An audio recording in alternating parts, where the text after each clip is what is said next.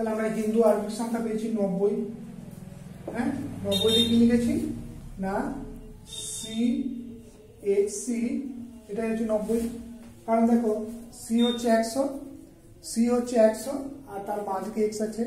তার মানে এটা হচ্ছে নব্বই। তাহলে এটা যদি একানব্বই হয়, তাহলে আমরা কত লিখব? এক্স সি আই যদি নাইনটি টু হয় বিরানব্বই হয়, হিন্দু আরবিক সংখ্যা, তাহলে রোমান সংখ্যা কত হবে? না এক্স সি ডাবল আই তিরানব্বই। তাহলে হচ্ছে এক্স সি ট্রিপল আই যদি হয় চুরানব্বই, তাহলে হবে এক্স সি আইভি যদি পঁচানব্বই হিন্দু আরবিক সংখ্যা হয়, সেটা রোমান সংখ্যা হবে এক্স সি ভি সি হচ্ছে একশো। বাঁ দিকে এক্স মানে দশ বিয়োগ হ্যাঁ? কারণ আমরা জানি সি সমান হচ্ছে একশো, আর এক্স সমান হচ্ছে দশ। তাহলে বড় সংখ্যার বড় চিহ্নের বাঁ দিকে যদি ছোট চিহ্ন থাকে, তাহলে বিয়োগ হয়। তাহলে সি হচ্ছে বড় চিহ্ন, তার বাঁ দিকে দেখো ছোট চিহ্ন আছে। তাহলে সি থেকে একশো থেকে দশ বিয়োগ মানে হচ্ছে নব্বই। এই যেটা নব্বই লিখেছিলাম, আর পঁচানব্বই, তাহলে পাঁচ ডান দিকে লিখলাম। এটা যদি ছিয়ানব্বই হয় তাহলে আমরা কত পাবো? এক্স সি ভিআই যদি সাতানব্বই হয়, সাতানব্বই তাহলে হবে X C V double I যদি আটানব্বই হয়, তাহলে আমরা কত পাবো? না X C V triple I যদি আমরা এটা নিরানব্বই লিখি, তাহলে কত পাবো?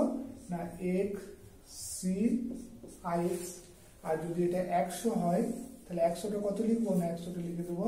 আমরা সি সি ফর একশো হ্যাঁ? এল হচ্ছে পঞ্চাশ, আর সি হচ্ছে একশো।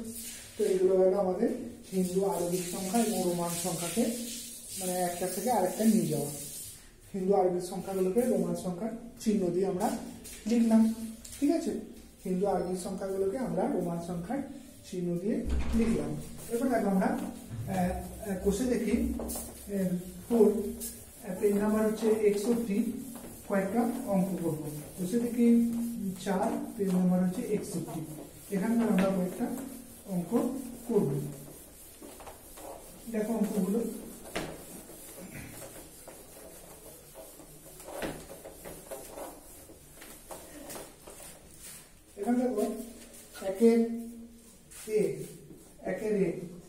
হিন্দু আরবিক সংখ্যা আছে সেভেন ওটাকে আমরা রোমান সংখ্যায় নিয়ে আসব, ভি ডাবল আই যদি বিটা লিখি, একে থেকে বি নাইন দেওয়া আছে, তাহলে রোমান সংখ্যায় কি হবে? আই এক্স সিটা হচ্ছে ফরটিন তাহলে এক্স হচ্ছে টেন আর আই বি ফরটিন হয়ে গেল।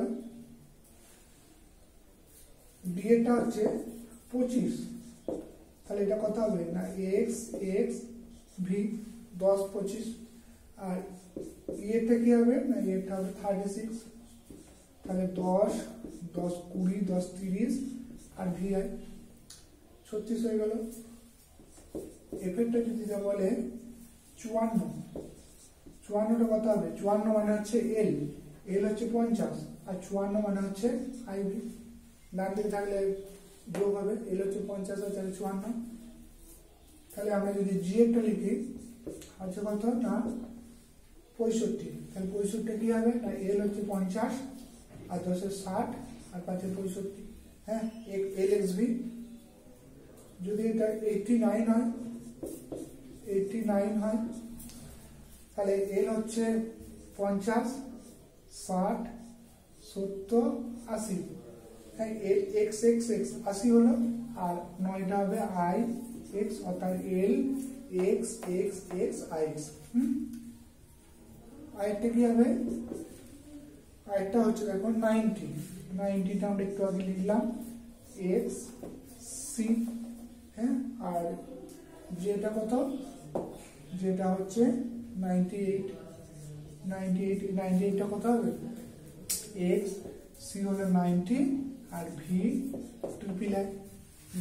V I I I, তাহলে এটা হয়ে গেল। আমাদের রোমা হিন্দু আরবিক সংখ্যাগুলো থেকে রোমান সংখ্যা। আবার পরে থেকে অঙ্কগুলো দেখো আছে। দুইয়ের এর মধ্যে দুইয়ের এ এখানে দেখো রোমান সংখ্যাগুলো দেওয়া আছে, ওখান থেকে আমাদের হিন্দু আরবিক সংখ্যাগুলো লিখতে হবে। যেমন আই এক্স আই এক্স হচ্ছে রোমান সংখ্যা মানে হচ্ছে হিন্দু আরবিক সংখ্যা হচ্ছে নয়।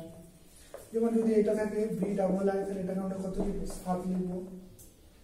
ভি ট্রিপল আই আছে, তাহলে এটাকে আমরা আট লিখব। আট। আবার দেখো আছে ভি ডাবল আই মানে সাত। এটা হচ্ছে সাত। তারপর আছে কি? না, আইএক্স। আইএক্স না আইভি আইভি আইভি আইভি মানে এটা হচ্ছে চার। আইভি হচ্ছে চার। আবার কি আছে? না।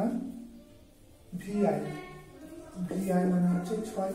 তাহলে এগুলো হচ্ছে রোমান সংখ্যা, আর এগুলো হচ্ছে হিন্দু আরবিক সংখ্যা। নেক্সট দিন আমরা পরিণামগুলি আবার করব, ঠিক আছে?